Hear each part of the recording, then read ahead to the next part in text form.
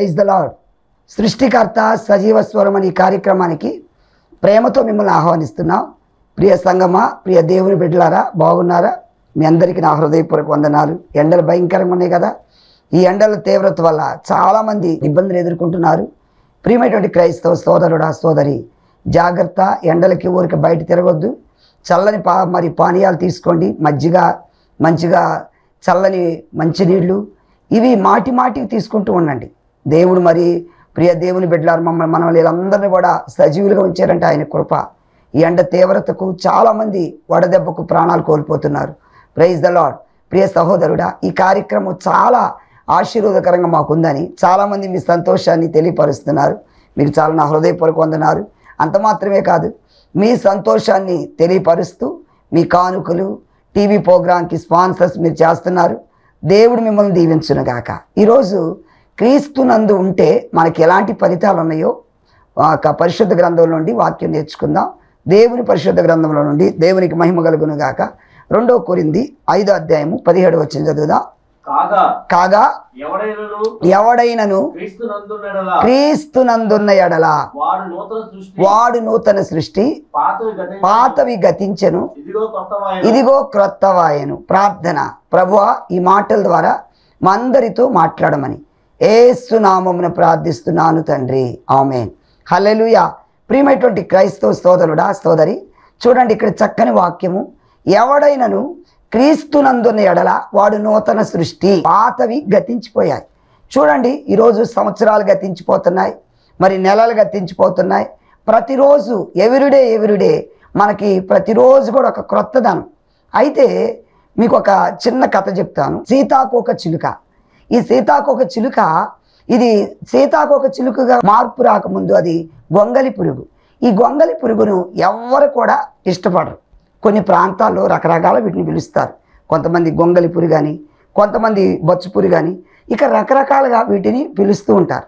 అయితే ఈ పురుగు పైన పడ్డప్పుడు మనకు దురద వస్తుంది. దీన్ని అవి అది చూసినప్పుడు కూడా ఎవ్వరు ఇష్టపడరు. ఆ పురుగు అసహ్యంగా ఉంటుందని అది చూస్తేనే కొంతమంది క్యావ్ అని కేకబెట్టి అరుస్తారు.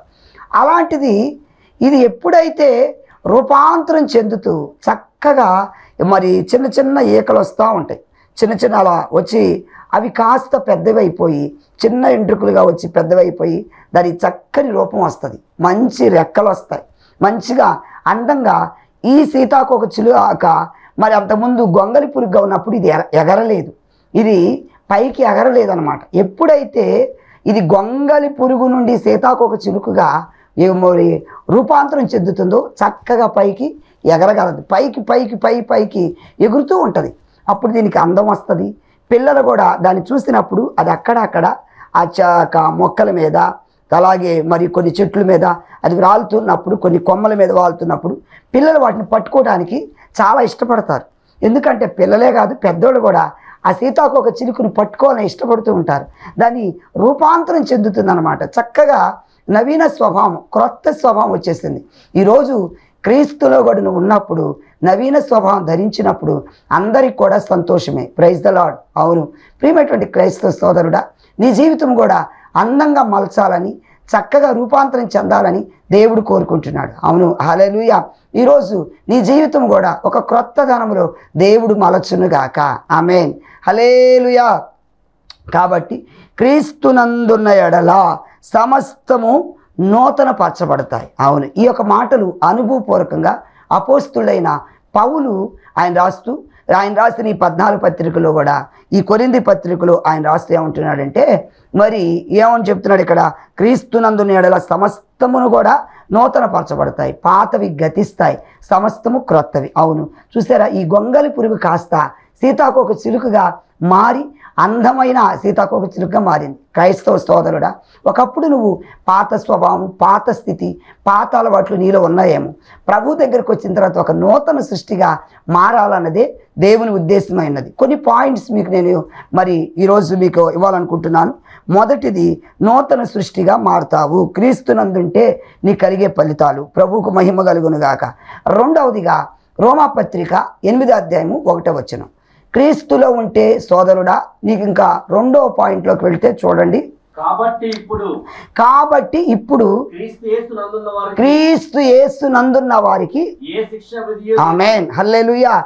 ఎందుకంటే క్రీస్తు యేసునందుంటే నీకు ఏ శిక్షా విధి లేదు. ఎందుకంటే సర్వమానవాళు ప్రతి ఒక్కళ్ళు కూడా ఏ భేదం లేదు. అందరూ పాపం చేసి దేవుడు అనుగ్రహించే మహిమను పొందలేకపోతున్నారు. మానవుడు స్వ స్వతహాగా పాపి. ఎందుకంటే ఈ భూమి మీద మరి ఉన్న ప్రతి ఒక్కళ్ళు పాపులే. ఆదాము వలన మా సమస్త మానవాళికి భూమి మీద ఏమొచ్చిందంటే శాపం. ఈ శాపం వల్ల మరి ఎన్నో రకాలుగా నష్టాలు. ప్రైజ్ ద లార్డ్ ఆదాము వల్ల పాపం వచ్చింది. పాపం వల్ల శాపం. ఈ విధంగా ఈ శాపాన్ని కొట్టివేయటానికి ప్రభు భూమి మీదకి వచ్చి సర్వమానవాది పాపాన్ని క్షమించాడు. దేవునికి స్తోత్రం.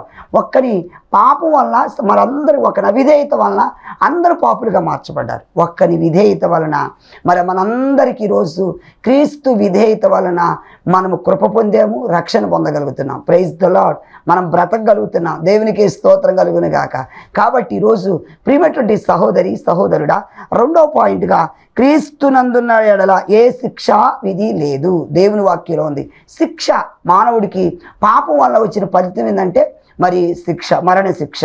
అయితే ఈ శిక్షను తొలగించడానికి రోమాపత్రిక ఆరు ఇరవై మూడులో ఏముంది? చదవండి. రోమాపత్రిక ఆరు ఇరవై మూడు. ఏలయనగా పాపం వల్ల వచ్చి జీతము మర అది. పాపం వల్ల వచ్చే జీతం మరణం. ఈ పాపం వల్ల ప్రతివానికి మరణము సంప్రాప్తమైంది. అయితే క్రీస్తు యేసునందున్న ఎడల ఇప్పుడు నీకు ఆ పాపము నుంచి విడుదల పొంది పాప క్షమాపణ పొందుకొని చక్కగా నీకు రక్షణ దొరుకుతుంది. ఈ రక్షణ ఎలా వస్తుంది? మార్కు స్వార్త పదహారు అధ్యాయం పదహారు వచ్చింది చదవండి. అది నమ్మి బాప్తిసం పొందినవాడు నమ్మని వానికి శిక్ష అది. నువ్వు ఎప్పుడైతే క్రీస్తుని నమ్మి క్రీస్తు వాక్యాన్ని నమ్మి మారు మనసు పొంది బాప్తిస్తు పొందుతావో రక్షించబడతా. లేకపోతే నీకు శిక్ష ఏముంది అక్కడ?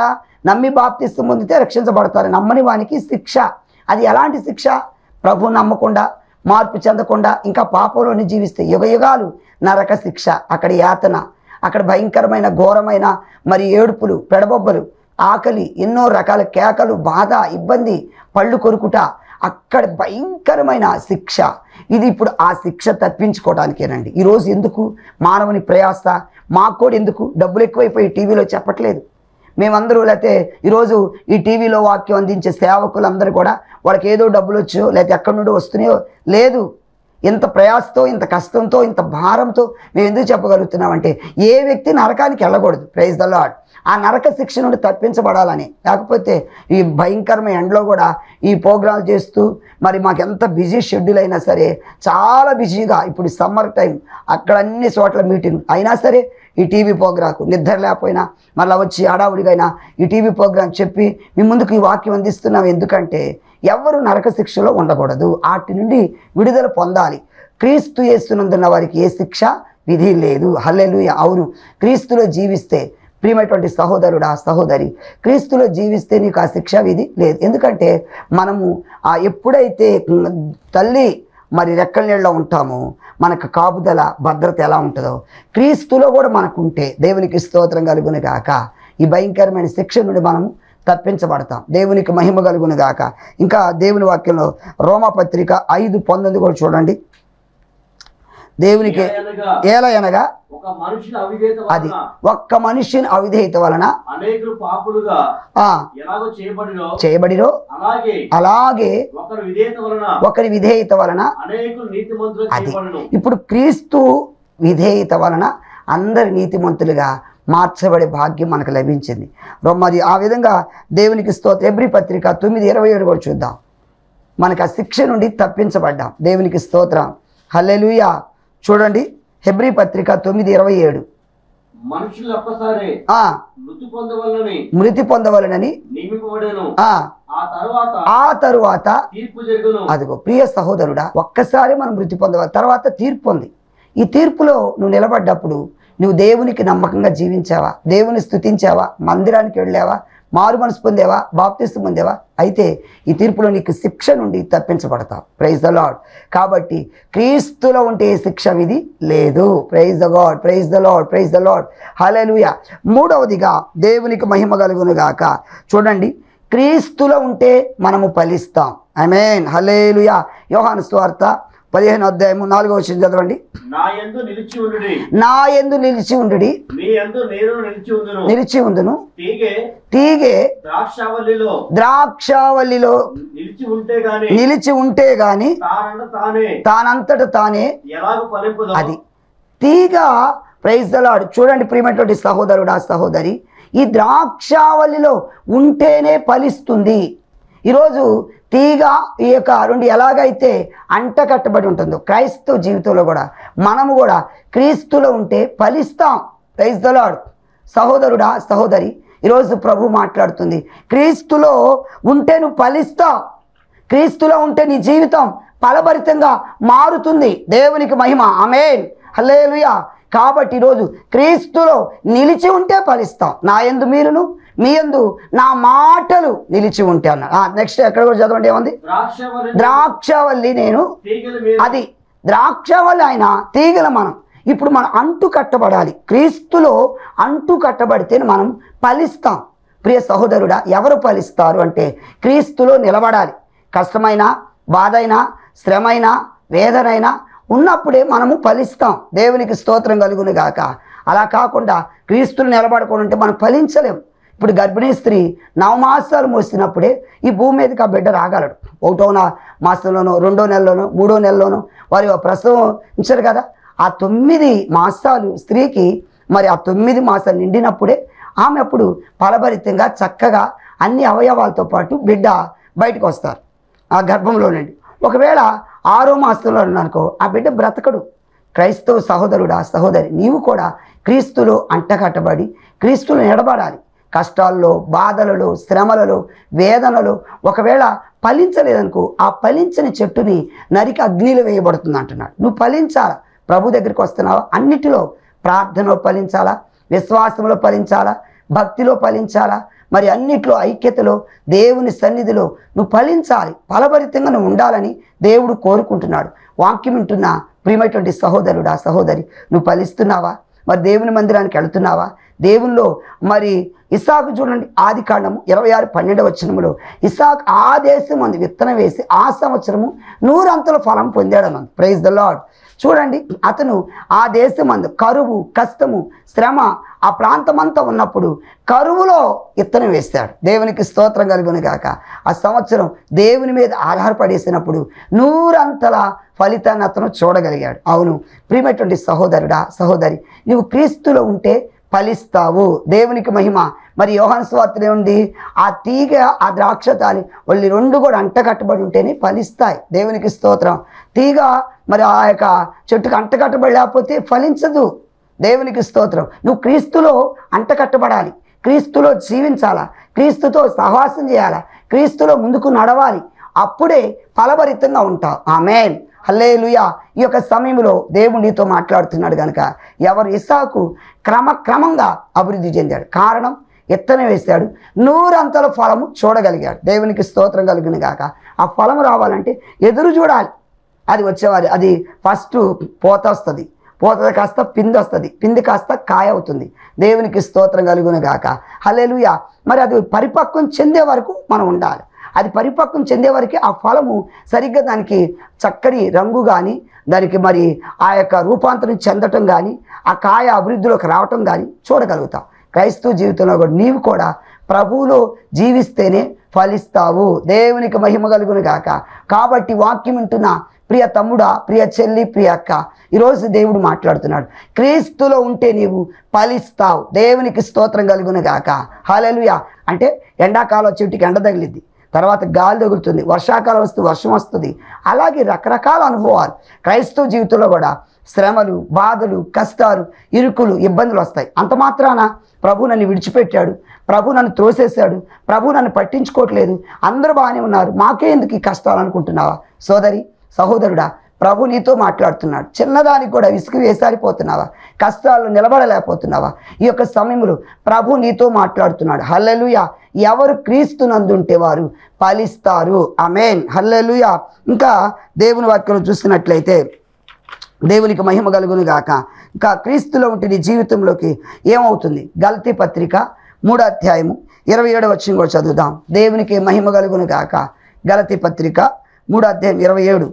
ఈరోజు క్రీస్తులోనికి నువ్వు పొందవలసినది. క్రీస్తు యేసులోనికి క్రీస్తు యేసులోనికి బాప్తిసం పొందిన మీరందరూ అమేన్ హల్లెలూయా. క్రీస్తులోనికి అంటే క్రీస్తు యేసులోనికి బాప్తిస్మం పొందిన మీరందరూ ఎవరిని ధరించుకుంటున్నారు? క్రీస్తును ధరించుకుంటున్నారు. హల్లెలూయా. ప్రియమైనటువంటి సహోదరుడా ఇప్పుడు మనలో క్రీస్తు స్వభావం ఉండాలి. క్రీస్తు ప్రేమ ఉండాలి. క్రీస్తు మనస్సు ఉండాలి. హల్లెలూయా. క్రీస్తులోనికి బాప్తిస్తు పొందిన మనము ఇప్పుడు ఆయన మనస్సు ధరించాలి. అమేన్ హల్లెలుయ. బాప్తిస్తు పొందిన తర్వాత మన జీవితాలు మారాలి బాప్తిస్తు పొందిన తర్వాత మన నడక మారాలి మన ప్రవర్తన మారాలి మన బుద్ధి మారాలి హల్లెలుయ.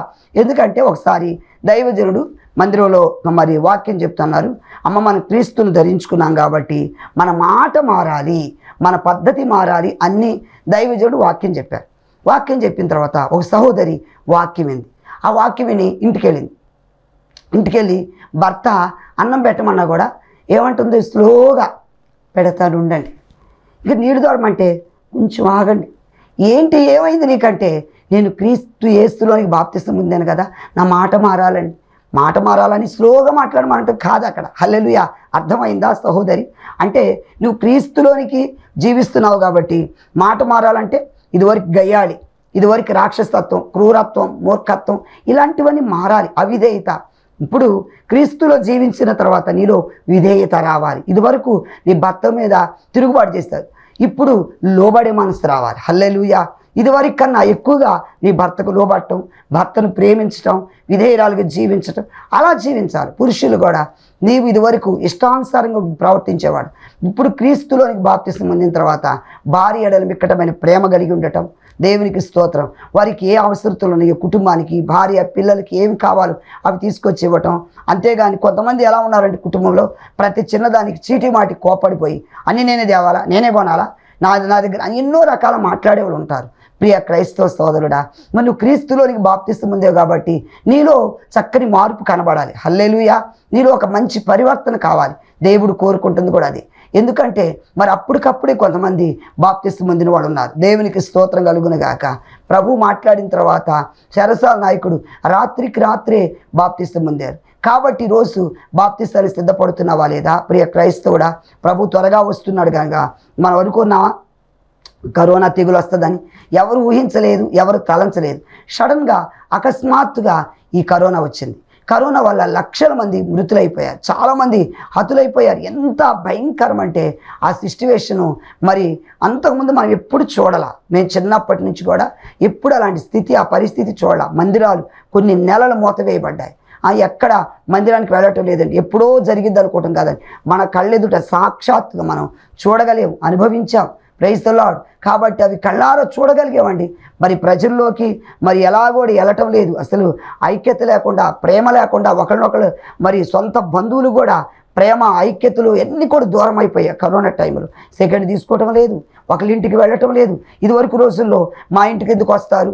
మా మేము పేదవాడు మా ఇంటికి రావట్లేదని బాధపడేవాళ్ళు కరోనా టైంలో ఎవరైనా వస్తున్నారంటే రాకుంటే బాగుండు. వీళ్ళు వస్తే మా ప్రాణాలు ఎక్కడ పోతాయని భయం. వీళ్ళు ఏ కరోనా తగిలించుకొని వస్తున్నారని భయం. కాబట్టి ప్రియ సహోదరుడా రకరకాల ఇవన్నీ మనం చూడగలిగాం. అయితే ప్రభు ఈరోజు మనల్ని సజీవులుగా ఉంచాడు కనుక నువ్వు క్రీస్తులోనికి ఉన్న నీ జీవితం మార్పు చెందాలి. హల్లెలుయ! క్రీస్తులో ఉన్న నీవు నీ పరిస్థితి మారిపోవాలి కనుక కాబట్టి ఈరోజు నేను మీకు మనం క్రీస్తులో జీవిస్తూనే క్రీస్తులోనే మృతి పొందాలి. అమెన్ చూడండి ప్రకటన గ్రంథం పద్నాలుగు అధ్యాయం పదమూడవ వచ్చిన చదువుదా. ఇప్పుడు క్రీస్తులో జీవిస్తూ క్రీస్తులోని మృతి నొందాలి. దేవునికి స్తోత్రం. ఆ, ఇప్పటి నుండి ప్రభువునందు మృతి నొందు మృతులు. ధన్యులు అంటే క్రీస్తులోని జీవిస్తూ క్రీస్తులోని మరణించాలి. హల్లేలుయా. ప్రభు కోసం మా జీవితాలను త్యాగం చేస్తున్నాడు ఎంతోమంది భక్తులు ఉన్నారు. హతసాక్షులు అయిపోయి ఉన్నారు మన భారతదేశానికి సువార్త తేవటానికి వచ్చి తోమా తోమా కూడా హతసాక్షి అయిపోయాడు భారతదేశంలో భారతదేశాన్ని మండించాడు. దేవునికి స్తోత్రం కలుగుని కాక స్వార్థ ప్రకటన కొరకు వచ్చినప్పుడు గిట్టన వాళ్ళు వచ్చి ఆయన ఒక బళ్ళంతో పొడిచారు. అయినా సరే క్రీస్తు కొరకు అతసాక్షిగా మన భారతదేశంలో ప్రాణాల్ని ఆయన అర్పించాడు. ఎందుకంటే క్రీస్తు సువార్త నిమిత్తం క్రీస్తు కొరకు. ఇంకా రకరకాలుగా క్రీస్తు కొరకు హతసాక్షులైన ఎంతోమంది పన్నెండు మంది శిష్యులు కూడా హతసాక్షులయ్యారు. ప్రియ సోదరుడా సహోదరి ఈరోజు దేవుని వాక్యం వింటున్న సోదరుడా చూడండి మన జీవితం క్రీస్తునందుండే మృతులు అవ్వాలి దేవునికి ఏ స్తోత్రం కలుగును గాక. నందు ప్రభునందు మృతునందు మృతులు ధన్యులని దేవుని వాక్యం సెలవిస్తుంది. అంటే ప్రభుతో సహవాసం చేస్తూ క్రమం తప్పకుండా మందిరానికి వెళుతూ మందిరంలో గడుపుతూ ప్రభు పాదాలు పట్టుకొని ప్రభుకు సాక్షిగా జీవించడమే క్రీస్తునందు మృతినందుట కాబట్టి ఈ యొక్క సమయంలో వాక్యం విన్న ప్రియమైనటువంటి క్రైస్తవ సోదరుడా మరి క్రీస్తునందున్న వారికి కలిగే ఫలితాలు మీకు నేను ఇచ్చాను. క్రీస్తునందుంటే మనకు కలిగే ఫలితాలు. నెంబర్ వన్ దేవునికి మహిమ కలుగును గాక. క్రీస్తునందున్న ఎడల సమస్తమును కూడా నూతన సృష్టి అవుతుంది. హల్లెలూయా క్రొత్తదనం మనలో మన జీవితం మనలో ఒక క్రొత్త మార్పు అండి. దేవునికి మహిమ కలుగునుగాక అందుకే పౌలు ఏమంటున్నాడు? క్రీస్తు యేసును కలిగిన ఈ మనస్సు మీరు కలిగి ఉండండి. నూతన సృష్టి అంటే మరి నూతన స్వ ఎలాగ వస్తుంది? ప్రభువు ఆయన ప్రేమగల దేవుడు. ఆయన క్షమించే దేవుడు ప్రేమించే దేవుడు. ఈరోజు ప్రభువుని తెలుసుకున్న మన జీవితంలో చాలామంది ఎంతమంది సాక్ష్యాలు చెప్తున్నారు? గజ దొంగలు మారి మూర్ఖులు మారి ఎంతోమంది ఒకప్పుడు నేను ఇలా ఉండేవాడిని. ప్రభు దగ్గరికి వచ్చిన తర్వాత నా జీవితం మారిపోయింది. నా ప్రవర్తన మారిపోయింది. నా ఉద్దేశం మారిపోయింది అని చెప్తున్నారు క్రీస్తు నందుంటే ప్రైజ్ ద నీ జీవితం ఒక నూతన స్వభావం వస్తుంది. నూతన సృష్టిగా మారిపోతుంది. నూతన తలంపులతో ఉంటావు. దేవునికి మహిమ కలుగును గాక. మరి దేవుడు అటువంటి నూతన అనుభవం దేవుడు నీకు ఇచ్చును గాక. ఆమెన్. రెండవది క్రీస్తునందుంటే ఏ శిక్షా విధి లేదు. హలేలుయా ఎందుకంటే ఆదాము ఆజ్ఞతిక్రమించాడు తినొద్దన్న పండు తిన్నాడు తినొద్దన్న ఫలం తిని చివరికి సర్వమానవాళి మీద ఏం తీసుకొచ్చాడంటే శాపం. దీనివల్ల శిక్ష ఏంటి? ఇప్పుడు పాపంలో వచ్చి జీతం మరణం. అయితే ప్రభు వచ్చి దేవునికి స్తోత్రం కలుగును గాక. ఆయన విధేయత వలన ఆయన విధేయత చూపి సర్వ మానవాళికి రక్షణ ఇచ్చారు మన గ్రేస్ పీరియడ్ దొరికింది ఇప్పుడు. గ్రేస్ కృప దొరికింది. ప్రేస్ ద లాడ్ హల్లెలూయా లేకపోతే ఆ శాపం వల్ల అందరూ చచ్చిపోవాలి. ప్రియ సోదరుడా మనకెంత కృప? దేవుడు కృపిచ్చాడు క్షమించే మనసిచ్చాడు మనం క్షమించాడు కనుక ఈరోజు మనం బ్రతికి సజీవులుగా ఉండి దేవునితో సహవాసం చేయగలుగుతున్నాం. దేవునికి స్తోత్రం. శాపం కొట్టివేయబడుతుంది. ప్రైజ్ ద లాడ్ ఎవరైతే మనం క్రీస్తులో జీవిస్తామో దేవునికి మహిమ కలుగును గాక. హాలలుయ మరి ఇప్పుడు ఏ శిక్ష విధి లేదు. దేవునికి అంటే మనం పొందాల్సిన శ్రమ మనం పొందాల్సిన కష్టం మనం పొందాల్సిన బాధ మనం పొందాల్సినవి కూడా ఆయన అనుభవిస్తున్నాడు. దేవునికి స్తోత్రం. ఆ శిక్షను తప్పించాడు. దేవునికి స్తోత్రం కలుగును గాక. అంటే ఇది ఒక మీకు ఒక చిన్న ఉదాహరణ చెప్తా. ఇద్దరు అన్నదమ్ములు ఉన్నారు చిన్నప్పుడే ఆ ఆ పిల్లలు తల్లిదండ్రులు కోల్పోయారు. అయితే తల్లి చనిపోతూ చనిపోతూ నాయనా ఇదిగో తమ్ముడిని నీ చేతిలో పెడుతున్నాను.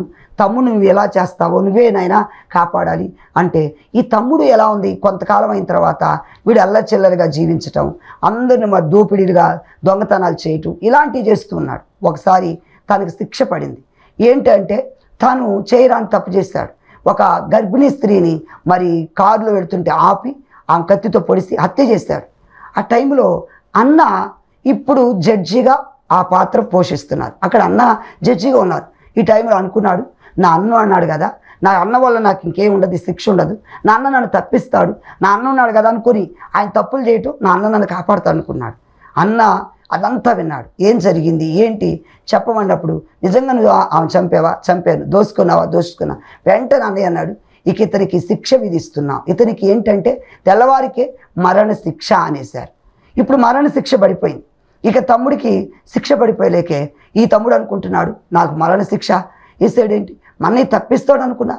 మన్నయ్య నాకు మరణ శిక్ష విధించడం ఏంటి? మన్నయ్య ఇలాంటి తీర్పు చెప్పాడు అనుకున్నాడు. కానీ ఇంటికి వెళ్ళిన తర్వాత అన్నయ్యలో వేదన అన్నయ్యలో బాధ. అరే నా తమ్ముడికి మరణ శిక్ష పడింది.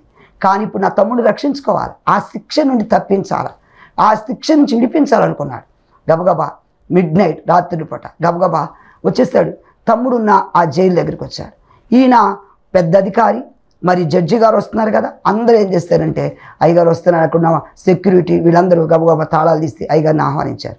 నేను కాసేపు ఖైదీతో మాట్లాడాలి మీరందరూ బయటకు వెళ్ళమని. వెళ్ళగానే తమ్ముడి దగ్గరికి వచ్చారు. తమ్ముడి దగ్గరికి వచ్చినప్పుడు ఈ తమ్ముడికి చాలా ఆవేశం వస్తుంది కోపం వస్తుంది. ఎందుకు నన్ను ఇలా చేసావు? నీ వల్లే కదా నాకు ఇలా నాకు ఇలాంటి శిక్ష వేస్తావు. చీ నా దగ్గరికి రావద్దు నా దగ్గరికి రావద్దు నువ్వు. నువ్వు రావద్దు అంటుంటే తమ్ముడు అరే వినరా నా మాట వినని. దగ్గరికి వెళ్ళి ఓదార్చి నువ్వు కోపడద్దు ఇదిగో ఆ శిక్ష మరి ఈరోజు నేను తప్పించడానికి వచ్చాను రా నీకు పడ్డ శిక్ష నీకు పడ్డ మరణ శిక్ష నేను విడిపిస్తాను రా తమ్ముడు అంటే. ఎలా విడిపిస్తావు? ఎలా తప్పిస్తావు? తెల్లారిపాటికి నాకు శిక్ష పడుతుంది కదంటే లేదు నీ బట్టలు నాకు ఇచ్చేయమన్నాడు. ఆక తమ్ముడు బట్టలు అన్నయ్య ధరించుకున్నాడు. నువ్వు ఇదిగో ఇప్పుడు నా జడ్జి బట్టలు వేసుకో. కారు బయట ఉంది. ఇదిగో తాళాలు తీసుకుని వెళ్ళన్నాడు. ఈయన వస్తుంటే ఇక ఈ సెక్యూరిటీ కూడా ఫేస్కి వెళ్ళి చూడలేదు. అయ్యగారు వస్తున్నారు జడ్జి గారు వస్తున్నారు కొన్నారు తలుపులు తీస్తారు బయటికి కారు తీసుకొని ఇంటికి వెళ్ళిపోయాడు. ఇంటికి వెళ్ళిపోయి చక్కగా ఇంట్లో ఉన్నాడు తమ్ముడు. అన్నయ్య తెల్లవారి చూ చూడలేదు ఎవరు? ఇతనికి శిక్ష వేయాలి. తెల్లవారి పట్టుకల ఐదు గంటల కాల శిక్ష. ఇకేం చే జరిగిందంటే వీళ్ళు వచ్చేసి అన్నయ్యకి శిక్ష వేసేసారు తీరా ఆ యొక్క మరి హ్యాంగ్ చేసిన తర్వాత ఉరి ఉరి కమ్మం ఎక్కించి ఉరికి తీసి చనిపోయాడు. చనిపోయిన ఇతను తీరా చూస్తే ఫేసు జడ్జి గారు. అయ్యో జడ్జి గారు ఏంటి చనిపోవటం ఏంటి? ఏంటి ఎలా జరిగిందంటే ఎక్కడ ఏది ఆ ఖైదీ ఏడంటే మరి ఆ- ఆ సీసీ కెమెరా అన్నీ చూసి ఆ తీరా ఇలా జరగటం చూసిన తర్వాత ఇంటికి వెళ్ళలేకే చక్కగా ఇంట్లో తమ్ముడు అరే దుర్మార్గుడా మీ అన్నయ్యని పట్టణ పెట్టుకున్నావు. ఎందుకు ఇలా జరిగిందంటే అయ్యో నాకు పడాల్సిన శిక్ష మా అన్నయ్య అనుభవించాడు. హల్లెలూయా. చూసావా? అలాగే మనం పొందవలసిన శిక్ష మనం పొందవలసిన దెబ్బలు మనం పొందాల్సిన ఈ శ్రమలు అన్ని క్రీస్తు పొందాడు నీకోసం హల్లెలూయా. ఈరోజు మరి క్రీస్తులో ఉంటే ఆ శిక్ష నుండి నిన్ను విడిపిస్తాడు తప్పిస్తాడు. ప్రైజ్ ద లాడ్ మూడవదిగా క్రీస్తులో ఉంటే ఫలిస్తాం. దేవునికి స్తోత్రం. హలేలుయా ఆయనలో ఉంటే మన జీవితం ఒక ఫలభరితంగా ఉంటుంది. నెక్స్ట్ క్రీస్తులోనికి బాప్తిస్తు పొందిన మనము ఆయన ధరించుకున్న వరం అవుతాం. కాబట్టి ఈరోజు క్రీస్తు చేస్తున్నందుండే మనకి ఎన్నో ఫలితాలు ఉన్నాయి. ప్రియ సోదరుడా సహోదరి మరియు క్రీస్తులోనికి జీవిస్తావా? క్రీస్తులోనికి మరి ముందుకు సాగుతావా? క్రీస్తు ఏస్తునందున్న వారికి మరి మరి ఎంతో క్రీస్తునందుంటే మన జీవితం ఎన్నో ప్రయోజనాలు ఉన్నాయి కనుక ఈరోజు ప్రభుని హృదయంలో చేర్చుకో. హల్లెలుయా ప్రియ సోదరుడా ఇప్పటి వరకు ప్రభు ప్రేమ తెలియకపోతే ఇప్పుడే రా ఇదే మిక్కులు అనుకోలుస్తాం ఇదే రక్షణ దినం. రేపేమి సంభవిస్తుందో మనకు తెలియదు. ప్రార్థన చేద్దాం. ఈ ప్రార్థనలు ఏకీవించండి ప్రైస్తలాడు హల్లెలుయా ప్రభువానికి స్తోత్రములయ్యా. ఇదిగో మీరు మాట్లాడిన ప్రతి మాటను బట్టి నీకు స్తోత్రం చెల్లిస్తున్నాను ఈ సమయంలో నాయన క్రీస్తు చేస్తున్నందుంటే కలిగే ఫలితాల గురించి నేర్చుకున్నాం. దేవా నీలో జీవించటానికి దేవా నీలో ఫలించటానికి నాయన నీలో మార్పు చెందటానికి నీలో రక్షణ పొందటానికి ప్రతి ఒక్కరికి దయచేయమని వాక్యం విన్న బిడ్డను మీరు దర్శించండి అయ్యా. బలహీన బలపరచండి అయ్యా. వ్యాధిగ్రస్తులు స్వస్థత ఇవ్వండి నాయన.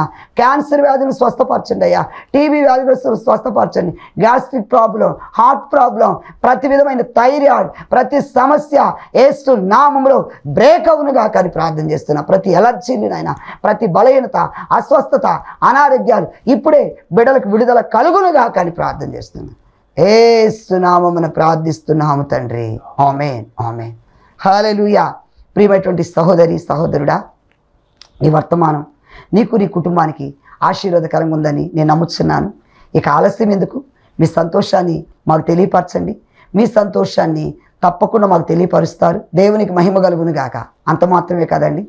ఈ కార్యక్రమం చాలా భారంతో ముందుకు నడిపిస్తున్నాం. దేవుడు మీకు ప్రేరేపణ కలుగజేస్తే దేవుడు మీకు ఈ కార్యక్రమం స్పాన్సర్ చేయాలని మనసు కలుగజేస్తే కాలస్యం ఎందుకు? తప్పకుండా మీ వంతు మీరు కూడా సహకరించండి. ఎంతోమందికి మీరు ఆశీర్వాదకరం ఉంటారు. కొన్ని వేల మందికి స్వార్థ అందించిన వారై ఉంటారు. కాబట్టి దేవుడు దీవిస్తాడు. ప్రైజ్ ద లాడ్ మరి మీ సంతోషాన్ని మాకు తెలియపరచవలసిన మా address pastor Chanduru Moshe manna ప్రార్థన మందిరం లంబాడిపేట విజయవాడ రాములు వీధి. నా phone number nine seven zero three four six double seven double seven దేవునికి మహిమ కలుగును గాక. ప్రియ దేవుని బిడ్డలారా మరి నేను నేపాల్ ప్రాంతము పరిచర్య కొరకు వెళుతున్నా. దయచేసి మీ ప్రార్థన సహాయ సహకారాలు మాకు కావాలి కనుక ప్రార్థించండి. నేపాల్ ప్రాంతంలో దేవుడు బలంగా వాడుకోవాలి. మరి ఎక్కడ కూడా ఎలాంటి బలహీనతలు కానీ వాతావరణం వల్ల కానీ దేనివల్ల బలహీన అవ్వకుండా దేవుడే కాపాడి క్షేమంగా మరలా మీ మధ్యకు దేవుడు తోడుకొని వచ్చేటట్లు తప్పకుండా ప్రార్థించండి. దేవుడు మిమ్ములను మీ కుటుంబాలను దీవించునుగాక దేవునికే మహిమ కలుగునుగాక హలెలూయా దేవుడు మిమ్మల్ని ఆశీర్వదించాలి. అలాగే మా యూట్యూబ్ ఛానల్లో ఇంకా మీరు ఎన్ని మరిన్ని వాక్యాలు వినాలంటే చందోలు మోషన్ టైప్ చేయండి. అందులో నా మెసేజ్లు వస్తాయి వర్తమానాలు వినండి. లైక్ చేయండి సబ్స్క్రైబ్ చేయండి షేర్ చేయండి అనేక మందికి తెలియపరచండి. దేవుడు మిమ్ములను మీ కుటుంబాలను దీవించునుగాక. Amen. God bless you all. Thanks for watching. ప్రియ దేవుని బిడ్డలారా ప్రతి బుధవారం ఏడు గంటల నుంచి ఏడున్నర వరకు కల్వరి టీవీలో ఇదే ఛానల్లో మా కార్యక్రమం వస్తుంది. వీక్షించండి. మీ ఫ్రెండ్స్కి అనేక మందికి తెలియపరచండి కార్యక్రమం వస్తుందని దీని ద్వారా తద్వారా దైవాశీర్వాదాలు పొందగలరు. దేవుడు మిమ్మల్ని దీవించును కాక మరో మరో మరొకసారి కలుసుకుందాం. అప్పటి వరకు సెలవు ఎమెన్ గాడ్ బ్లెస్ యు ఆర్